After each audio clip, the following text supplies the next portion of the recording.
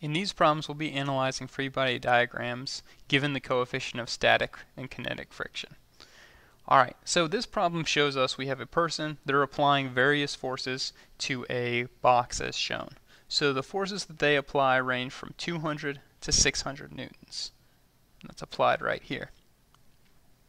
We also have the object's weight and a normal force as well as a friction as shown. So to start off with, we know that since we are on flat ground, the normal force is going to be equal to the weight. So our normal force will be 900 newtons. The first thing we want to do is calculate the maximum frictional force. So to do that, I'm going to use the equation F equals mu times N. I'm going to do that for static and kinetic friction. Alright, so multiplying 0.55 times 900 gives me 495 for the maximum static friction and multiplying 0.45 times 900 gives me 405. So let's start by remembering that static means not moving while kinetic means moving. First we say, okay, when the object is not moving, the biggest the friction can be is 495 newtons. So if I apply any force that is less than 495 newtons, then our object is not going to slide. So let me write down no for when the person applies a 200 newton force, a 300 newton force, and a 400 newton force. Alright, so let's take a look at the example of what if our person applied a 200 Newton force. If we applied a 200 Newton force, the box is not going to slide, and that means the forces are going to be balanced.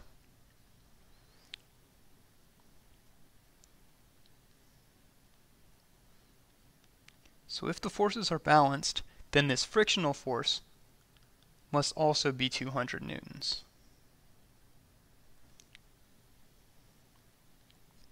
In that case, since the forces are balanced, we must have zero net force. Alright, so let's change this up and say, what if we applied a 300 Newton force? Well, again, our friction could be 300 newtons to prevent our object from moving. And our net force will be zero. Same thing if I apply a 400 newton force, then the friction will just be 400 newtons. And again, our object doesn't move. What happens if we exceed this 495 newton limit? So, if I apply a 500 newton force, it would take 500 newtons of friction to stop this, but the maximum static friction is 495 newtons. Well, that means our box is going to slide. And our box will end up sliding to the right. So now we have 500 newtons as our applied force, but our object is moving. Since our object is moving, our kinetic friction is only going to be 405. To get my net force, I'll subtract 500 minus 405, and that will give me 95 newtons as my net force. If I change my applied force to 600 newtons, we can't stop that with static friction, so we'll still slide to the right. Anytime we're moving, our friction will be 405, will be equal to our kinetic friction. Now this time our net force would be 600 minus 405, which would give us 195 newtons. Alright, let's take a look at a few more problems. So this problem is almost exactly the same. So I want to start off by saying that fill out any unknown forces over here. So if my weight is 50 newtons, this object is on a flat table, then I'm going to have a 50 newton normal force. My first step is to figure out the maximum static friction and the kinetic friction. So if I multiply 50 by 0.25, I figure out that the maximum static friction is going to be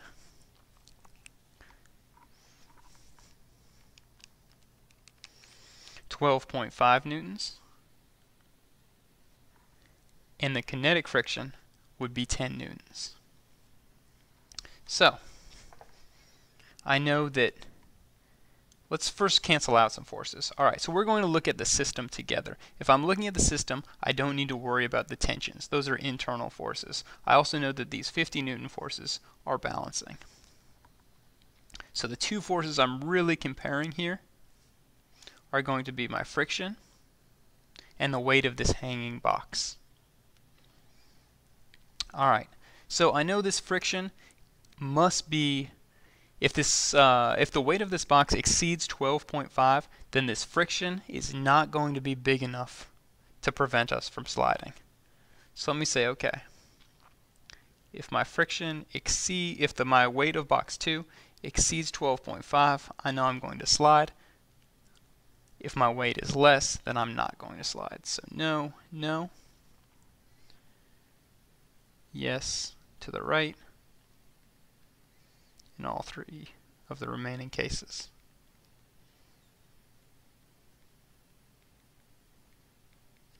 Alright, so first case, if I say this box weighs 5 newtons, then I would need a 5 newton friction to stop us. Again, the force is balance, and I have no net force on my system. If I increase the weight of this box to 10 newtons, then I have a 10 newton friction required to stop us, which is allowed because my maximum static friction is 10 newtons. Again, giving me a net force of zero. I drew this line here to tell me something significant changes right here. Now if I have a 15 newton box 2,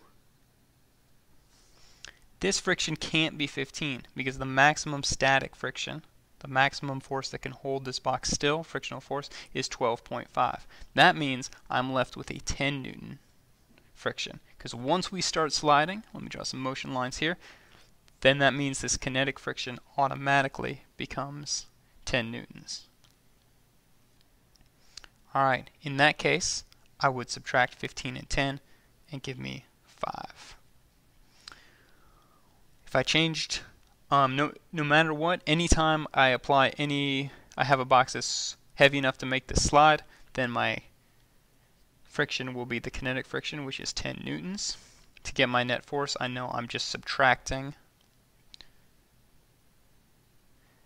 W2 minus my frictional force. So 20 minus 10 would give me 10. And then 25 minus 10 would give me 15.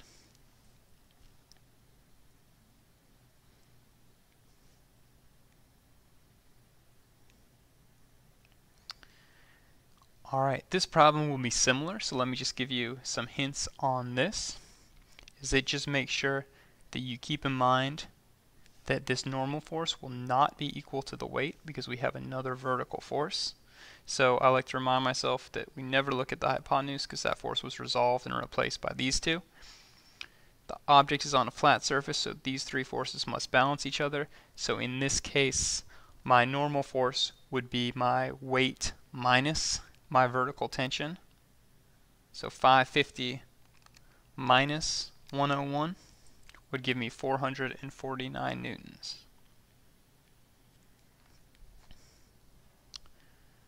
Alright, then you'd follow the similar process as before. Let's go ahead and skip down to my next problem. Make sure you are, this one wants to remind you that my normal force would balance my normal weight component. So these would balance out. Make sure you use the normal force, not the weight, to figure out your static and kinetic frictions. And then you'd be comparing those to the most important force right here, which is the downhill weight component. Again, we resolve the hypotenuse, so we're not looking at the weight itself. Alright, I did want to take the time to do this. This may be on your account. So in this case, we have a little bit trickier problem because we have weights hanging on both sides. So we start like we usually do and say that the weight is 40 newtons, which means my normal force is also 40 newtons. I can use my normal force then to calculate my static friction and my maximum static friction as well as my kinetic friction. So my static friction is equal to 40 times 0.2, which gives me 8 newtons. And my kinetic friction would equal 40 times 0.15, which would give me 6 newtons. Alright, so this one gets trickier. So let's say that the weight on the left side in our first case is equal to 10 newtons. I should go ahead and figure out what forces I can ignore. All the tensions are internal forces. Since I'm looking at the entire system, I can cross those out. The normal force and the weight of the box on the table will balance out. So what I'm really left with is I'm looking at my weight on the left side versus my weight on the right side. Alright, so I always ask myself, how much friction would it take to prevent this box from sliding? Okay, so I have, right now my amount of unbalance is 15 newtons, 25 minus 10. I know that the static friction at most could be 8 newtons. So, actually let's back up just a second. If I have a larger force on the right side, so in this case the larger force is on the right side, my system is trying to move in this direction. If my system is trying to move that way, that means the box on the top is trying to slide to the right. So my friction is going to be to the left. Alright, well, I ask myself now, could an 8 Newton friction stop me from sliding? And the answer is no, because 25 minus 10 gives me 15. So, since the static friction is less than 15, I know this block is going to slide to the right. Since my box is sliding, then I know that the friction is going to be 6. Alright, so looking at the forces I have now, I have 25 newtons trying to move this system clockwise, and I have 16 newtons going back the other way, which gives me a net force of 9 newtons. Alright, if we change the weight on the left side to 20 newtons, I still have a bigger force on the right side here. So that means I'm still trying to make things go to the right. So I'll still have this friction to the left. But now let's look at how much unbalance I have. So now I have 25 newtons trying to pull this box to the right, 20 newtons trying to pull the box to the left. That means the difference is 5. That means since my static friction is allowed to be 8, I could have this 5 newton friction to the left and prevent anything from sliding. So let me erase this. Alright, so my friction is now 5 newtons, which can stop me from sliding and give me a net force of 0. Alright, let's erase and try this again.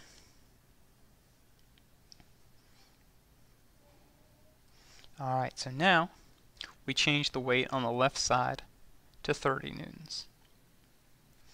Now notice that on the left side we have more force than we do on the right side. That means my system is at least trying to move to the left which means my friction will now be to the right. Now 30 versus 25, I know that gives me an unbalance right now of 5. My static friction can be as large as 8, so I'm going to have a 5 newton force to the right, which can stop me from, stop the system from moving. So now I have a 5 newton force to the right, which means I don't have to, which means the system will not slide, and my net force will be zero. Alright, two more. So changing this now to 40 newtons, I again have more force on the left hand side, 40 versus my 25 on the right. Since I have more force to the left, that gives me a friction to the right. The unbalance so far is 15, which means my static friction of 8 can't stop it, which means I am going to slide, but in this case, to the left. And again, my friction is still to the right. Anytime the box slides, the friction will be 6 newtons. So now I have 40 newtons trying to pull my system counterclockwise versus 31 newtons trying to pull my system clockwise and I get 9 newtons as my net force on the system. One more. We change this to 50 newtons. Again, more force on the left means a friction to the right. The unbalance, 50 versus 25, is 25, which is way too big for my static friction, which means I still have a 6 Newton friction to the right, meaning the box will slide to the left. And now my net force is 50 versus 31, or 19 newtons total. All right, our last problem we're just going to talk about. So just to start off, I'll just start out and let you finish it on with your own numbers. So we know that the first of all, the weight of box 1 right here is 57 newtons. But that was broken down into a 27 newton downhill weight component and a 50 newton normal weight component. So my normal force will be 50 which will be what I'll use to calculate my maximum static friction as well as my kinetic friction. We know that the normal weight component and the normal force itself will balance out. The tensions are internal forces so I can cross those off and I'm left with the important forces I need to look at are W2 which again is varied in this problem and this 27 newtons the downhill weight component. So comparing that 27 to W2 and using your static and kinetic friction, you can figure that one out. Alright, this was a long video, but I think it's worth it. It's a tricky subject, but once you can really get it in your head and figure it out, you'll get it.